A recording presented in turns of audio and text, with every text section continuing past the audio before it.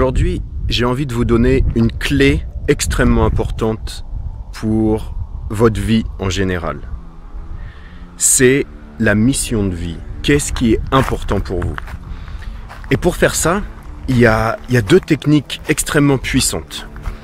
Euh, la première, c'est d'imaginer vous êtes dans votre euh, tombe et sur la tombe, vous imaginez ce qui serait écrit par les personnes que vous aimez, par les personnes de votre entourage. Qu'est-ce que vous aimeriez qu'ils pensent et qu'ils écrivent sur votre tombe euh, au moment de votre mort ou après votre mort? Et si vous réfléchissez à ça, ça peut vous donner une direction claire de votre mission de vie, du sens de votre vie, extrêmement précis. Euh, je vais vous donner mon exemple. Par exemple, moi quand je fais cet exercice, et je l'ai fait plusieurs fois, l'une des choses importantes, ce que je veux que les gens ressentent, ce qui est important pour moi dans ma vie, c'est d'être une personne aimante, une personne compatissante, une personne généreuse, qui a aidé les autres dans sa vie. Et donc j'aimerais que les gens écrivent sur ma tombe, et donc ça va diriger ma vie vers être cette personne.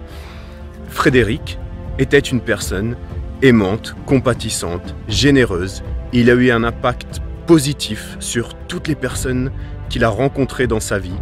Il a aidé énormément de personnes dans le monde, que ce soit les personnes qu'il a rencontrées, passé quelques minutes avec, il, avait un sourire, un mot bienveillant, une question pour les challenger, euh, un, un encouragement, un mot pour les encourager. Et il grandissait en tant que personne chaque jour, il progressait, il devenait une personne meilleure jour après jour et il mettait de l'importance dans sa pratique spirituelle.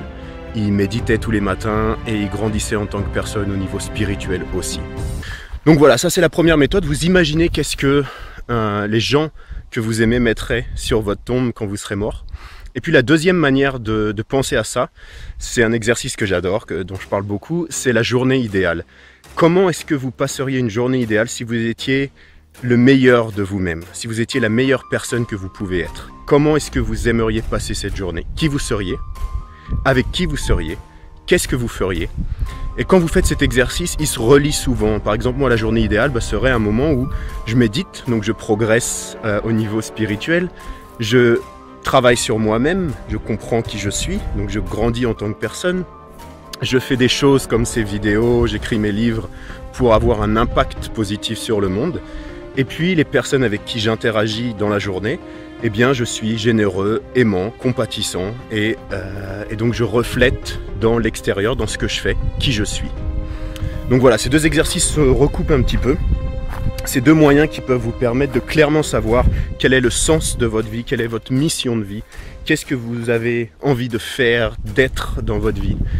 Et c'est vraiment quelque chose qui va vous donner une vision à long terme. Parce que souvent on se demande qu'est-ce qu'on doit faire dans la vie, parce qu'on ne sait pas qui l'on est.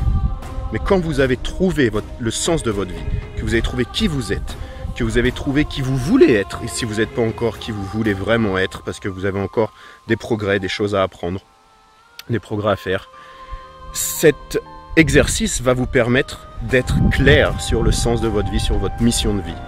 Ok? Euh, bon, je crois que c'est tout. Euh, on est le 24 juillet aujourd'hui. Dans un mois et un jour, vous allez euh, avoir le stage de bien-être qui se situe, qui se passe dans le sud de la France. si vous voulez vous inscrire, il y a encore quelques places, il n'y en a plus beaucoup. Donc n'hésitez pas et on fera un travail qui va vous permettre de, eh bien, de vous recentrer avec qui vous êtes vraiment, de trouver le sens de votre vie, d'être dans un moment de détente, faire des exercices qui vont vous permettre de vous relaxer, d'aller profondément à l'intérieur de vous, vous poser des questions sur qui vous êtes. Donc il y a un, grand mix, c'est une journée, c'est une, aventure euh, qui va vous permettre, alors vous pouvez faire le week-end complet, qui va vous permettre de vous recentrer sur vous-même, d'être plus en lien avec qui vous êtes, et puis de laisser euh, toutes vos préoccupations, vos pensées de côté et de passer une journée vraiment dans cet état de, détente euh, complet.